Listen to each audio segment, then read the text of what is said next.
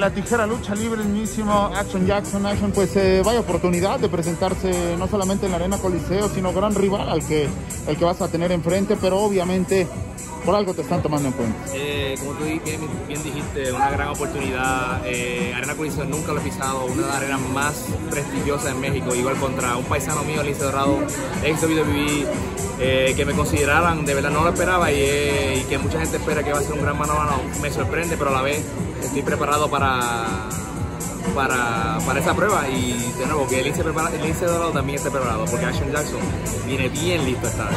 ¿Habías tenido la oportunidad de ya compartir cuadrilátero, algún entrenamiento, algo con Lince Dorado? Eh, gracioso que el Lince, de hecho, mi primera escuela que yo fui en Florida de lucha, el primer día, primer día de entrenamiento, eh, estaba Lince y logramos interactuar un poquito.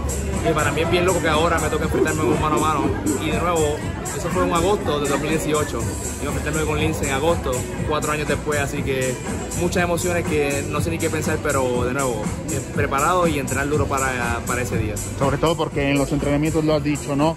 Eh, ha ido incrementando, obviamente, esta, esta experiencia, ha ido cambiando también tu, tu forma de luchar. Has agarrado muchísima experiencia después de esta llegada a México.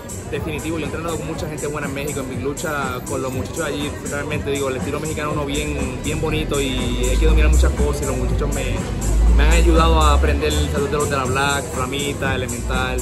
Igual he, he, entrenado con el profe Sky que me ha ayudado un montón a dominar ese estilo mexicano.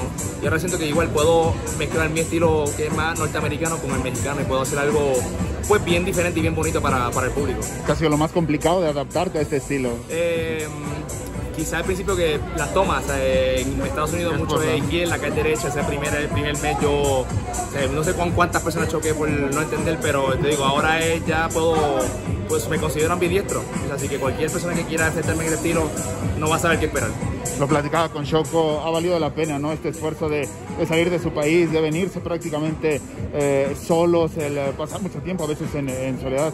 Un sacrificio muy complicado. Eh, sí, me dio, yo no estaba seguro si iba a venir aquí esa primera vez recordando, mucho miedo, no sabía qué esperar y no me arrepiento para nada. Llevo siete meses aquí, me encanta México. Obviamente extraño a mi, a mi país, pude ir hace un mes con mi familia y me hacía falta, pero igual México es otra cosa. Mi sueño es ser luchador y gracias a México lo he logrado y sigo luchando por más. ¿Por qué ha valido la pena estos siete meses?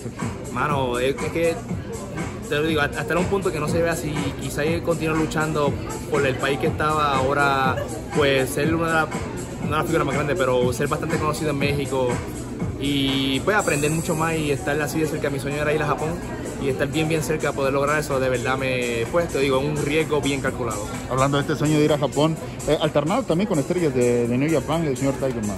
Igual te digo, son cosas que no esperas jamás, son oportunidades, muchas oportunidades, Robbie Romero, Robbie Eagles, son personas que yo he visto por muchos años también, o sea, aprendo cosas de ellos y el hecho de poder compartir con ellos un evento, de verdad, bien agradecido, bien agradecido. Action, pues eh, a esperar la fecha, próximo 18 de agosto, Arena Coliseo, como siempre agradecerte muchísimo tu tiempo de palabras. Para ustedes, gracias un millón. Y Lince, espero que esté bien preparado porque Ashley Jackson viene bien, bien listo.